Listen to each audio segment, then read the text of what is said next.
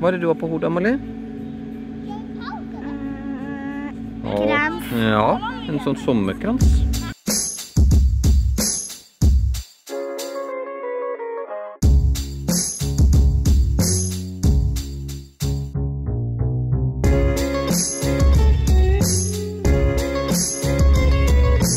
Good morning, sunshines.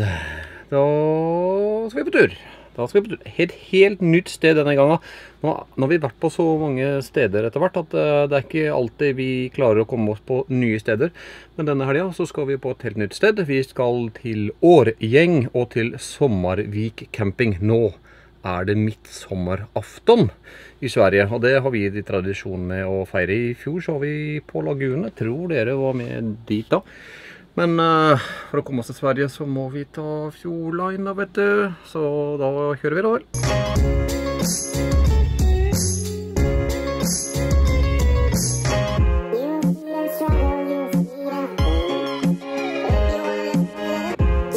Da er vi her igjen nå. Eh, nå har vi kjørt Fjordland så mange ganger at nå er vi det som kalles for ambassadørmedlemmer, faktisk. Da skal du se at da skal vi i teorien få en sånn verdikupong av hun dama i disken her. Som vi kan bytte inn i et eller annet i taxfree-en til en verdi av hele 50 kroner. Det er jo helt vilt. Det er vilt. Det er helt vilt. Men vi har jo blitt stående her i en halvtime, for det er jo klart at eh, det er noen bobilturister da, som eh, kommer til eh, Skranka og ikke helt har skjønt at Billett, ja. Ja, men jeg skal jo til Strømstad.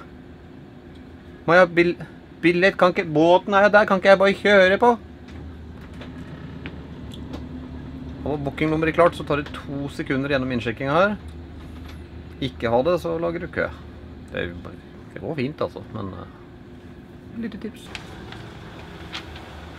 Hallo. Takk. Ha det fint. Jeg ringte noen.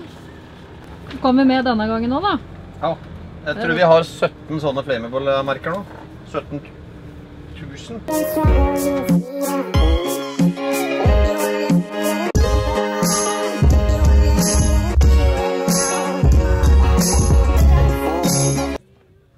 Og den kupongen, den ser sånn ut. Hvordan bli ambassadørmedlem? Du må ha 1000 poeng med Fjordline. Og for å få poeng, så må du enten ta båten til Danmark, til Hirtshals. Den gir ganske mye poeng, det har vi gjort noen ganger. Eller så kan du vise fra medlemskortet ditt i taxfree, så får du 10% av kjøpsummen. Og når du når 1000 poeng, så blir du ambassadør. Men tips kan være at du må ringe til Fjordline med en gang du har passert 1000 poeng, og si ifra. Ellers så tar det lang tid før du gjør om medlemskapet ditt. I den der evige Fjordline versus Color Line-krigen fra Sandefjord, så har jeg gitt dere veldig mange argumenter for hvorfor Fjordline er så mye bedre. Et lite eksempel er jo eh, nå, vi kjørte gjennom innsjekkinga, som for øvrig går smertefritt. Nå kjenner de også igjen. Eh, og så kommer de bort eh, til bilen, og så spør de om de vil ha en liten gave. Oppi her så er det da, skal vi Yatzy. Og litt lesestoff. Det tipper jeg for alt. Men det er tanken som teller. De gjør litt ekstra ut av det, og det er litt eh, stas. Så nok en pluss til Fjordline.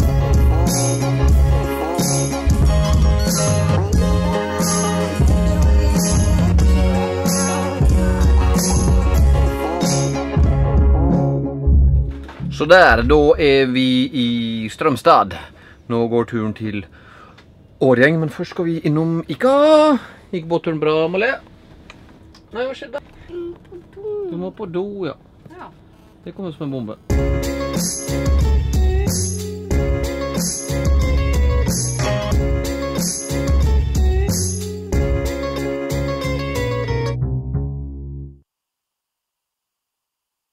Sånn, da er det dag to. Våken? Ja. Da er det på tide å komme seg ut og se på været, da. Ifølge panelet så er det 16 grader ute. Anna! Det vil påstå ganske så Lys, kanskje? Lys, lys. Det vil påstå ganske så herlig vær. Spine Men det er, Spiderman. men det er meldt drittvær utover eh, uka. Så vi får nyte det mens vi kan. Silt. Se! Oi! I dag er jo dag to. Vi kom litt sent i går, da. Så nå er det å utforske plassen. Ja. Til og med her er det veiarbeid. Jeg lurer om eh, de forfølger oss. Tror du det er de samme gutta fra Gustavsvik? Så du den episoden?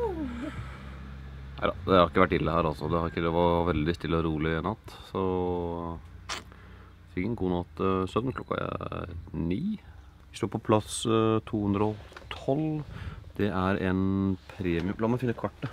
La meg vise dere litt hvordan vi ser ut her. Så her kommer man da kjørende inn fra Årgjeng. Inn på plassen her. Og så check-in-område, og så kjørte vi rett ned her på 212. Her står vi. Disse rosa plassen her, det er såkalte premiumplasser. De har da sjøutsikt. Eh, De har strøm, og de har også eget vannuttak. Så det er spesielt med de plassene her. I tillegg så er de nærme eh, basseng og lekeplass og det området her, da. Eh, De andre har vi ikke vært og sett på ennå. Men i og med at jeg sier premiumplass med sjøutsikt og vann, så skal jeg vise dere hva det innebærer.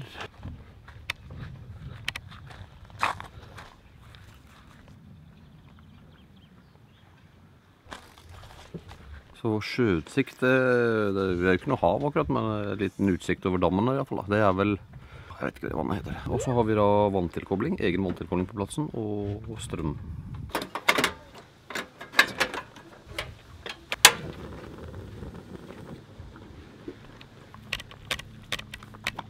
Kose Molly seg på tur, Amalie? Ja.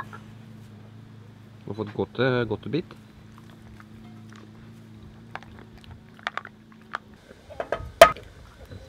Er det kokeren? Ja. Klarer i hvert fall å produsere noe frokost. Når Charlotte lager så god eggefrokostting, så hører vi godt eh, drikke til frokost òg. Klokka er jo ti, tross alt, er den ikke det? Så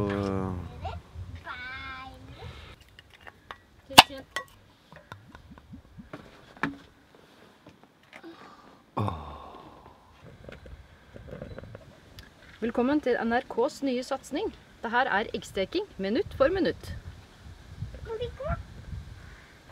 det var en eh, rask tur i bassenget. Det er sånn eh, sydenaktig Sydenaktig plass ved bassenget. Med butikk og bar og Egentlig kjempefint. Vi er bare ikke så heldige med været. Men eh, jeg tror ikke det skal ødelegge for plassens stjerner. De er jo da som nevnt en av Sveriges fem stjerner. Kan anbefales så langt. Nå har dritværet kommet. Skal ikke klage, for vi har hatt kjempefint vær i hele dag. Glad i deg, mor. Ja. Koselig. Det er meldt uh, drittvær i morgen. I morgen er uh, fredag. Og så er det meldt knallvær på lørdag. Så vi får én dag av fem med drittvær. Det, hvis det stemmer, så er det helt eh, greit. Da pleier vi som regel bare å slappe av i bilen og stille på TV eller noe, men det får vi ikke gjort nå, fordi at eh, vi står Vet ikke om du ser det, men her er det tre. Og det er akkurat Akkurat der satellitten skal være. Så TV-signal, det får vi ikke. Så det blir nok yatzy i kveld. Good morning, sunshines. Dag tre. Oi. Mor sitter der. Skal du ha kaffe? Og som dere ser, så er eh, det opphold. Det er tørt ute, er ikke det, fruen? Du, det er vått i gresset, men det er opphold. Vått i gresset, men opp, altså. og temperaturen er høy. Det er varmt. Så det gjør ikke noe. Så lenge det ikke regner, så er vi fornøyd. Jeg holder på med et lite prosjekt inne da, for å benytte sjansen. Um, Ikea har jo disse greiene her. Det var ikke så lett å se på kamera, men sånn kleshengergreier. Ikke kjøp det. Forbanna drit, egentlig. Så det hadde jeg i klesskapet. Det hang, eh, hang den opp her sånn. Øh, Men problemet er at de hyllene, hvis man kan kalle det det, i der Ikea-på, sånn, de blir jo helt buete når de bare får én T-skjorte i seg. Så en liten brems på bilen, så lå jo alle klærne i et eh, hjørne i skapet. Så der må det noe nytt til. For å lage noe ordentlig hyllesystem der inne. Foreløpig så får vi bare la det se sånn ut. Det er vakkert. Det er klart Hvis du har noen gode tips, så jeg gjerne imot. også. I dag, Hva er planen i dag, eh, mor? Jeg tror det er noe sånn midtsommerfirende opplegg Ja. her i dag. Det er det. I dag er det jo midtsommerfeiring her i Sverige. Da skal vi ned på stranda her på Samarvik og kle det her byggverket med blomster. og ja, Det skjer masse aktiviteter utover dagen og kvelden for barn. Det er, eh, Svenskene er ganske flinke på å feire det vi i Norge kaller for sankthans. Som heter midtsommer her i Sverige nå. Må jeg ha kaffe og frokost.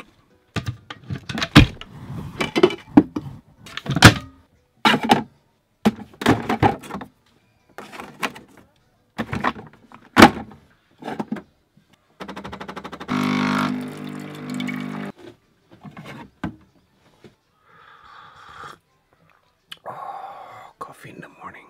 Var det tid for å lage kranser? Det er jo tross alt uh, midtsommer. Da hører visse tradisjoner til. Har du klar? Molly, skal du bade? Ja.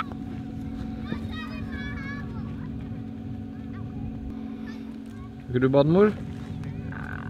Nei Hadde det vært et pilsbasseng, så hadde jeg sikkert bada. Pilsbasseng, ja.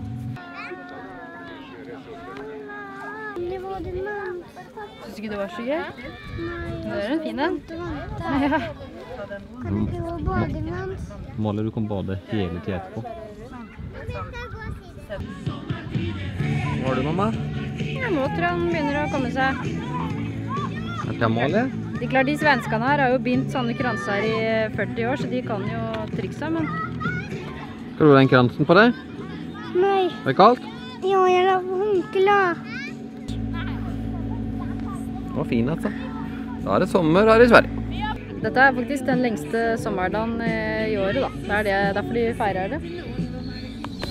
Ser ikke sånn ut på skyene, men det er varmt opphold. Det er varmt opphold, så de skyene de driter vi i. Det er faktisk deilig. Lummert, det er helt greit. Skal du ut i vann igjen? Nei, Nei, det er kaldt. det er kaldt, ja.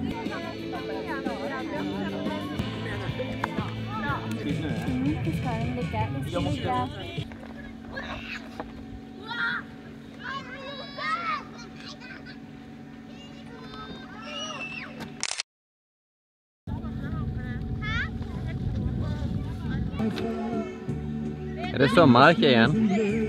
Det er sommer, eller? Han da oppi.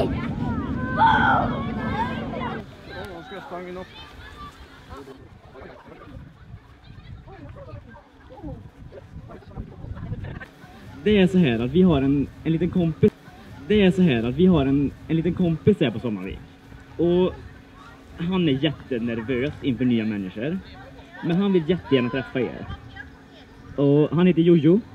Och han är min personliga bästa vän. Och vill ni träffa honom?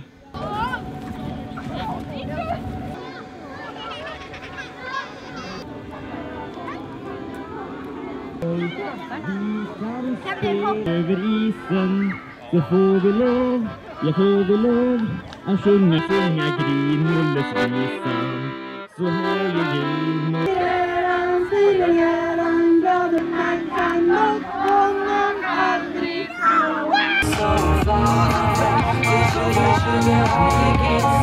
You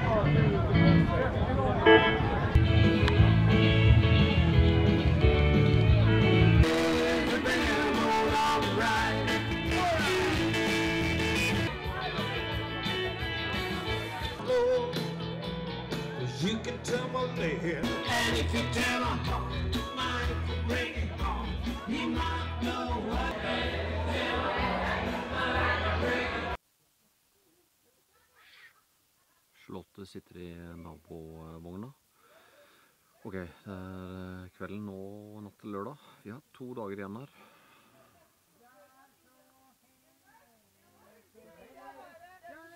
Nå er det lørdag. Dag fire. Dag onsdag, torsdag, fredag, lørdag. Dag fire. Her på Sommervik Årgjeng. Det ble en livlig natt. Vi, eh, fikk, vi var hos eh, naboen her. Eh, Det skjer jo ikke så veldig mye spennende utover. I dag eh, er det knallvær.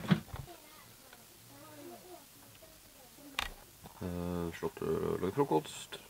Jeg, grunnen til at jeg går ut nå, er fordi det er masse folk ute, så jeg har litt glemt å gå med kamera. Um, ja, Skjegg snytt spennende. Uh, fint vær, nyter dagen her. Så skal vi jo hjem i morgen. Og uh, da er det vel en bra passende tid å vise deg plassen her. Her litt av eh, Sommervik camping i Åi.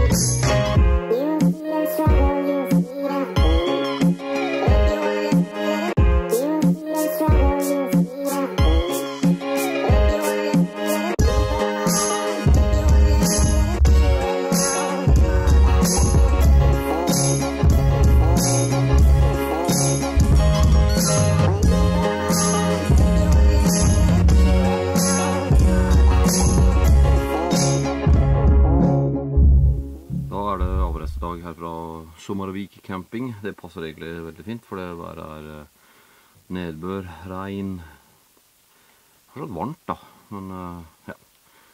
Her er på Sommervik er det utsikt klokka tolv. Igjen, det er ikke nødvendig å ha så tidlig for oss bobilister, men det er greit. Dette er jo en tradisjonell campingplass, så la det gå uansett. Det var en eh, ikke en kort, det var for oss en lang tur, men en kort eh, snutt eh, for dere her fra Sommervik. Husk å subscribe eller abonnere på kanalen vår under. Og klikk gjerne like på videoen, så kanskje vi havner øverst på YouTube en gang. Så ses vi neste gang. Hei då.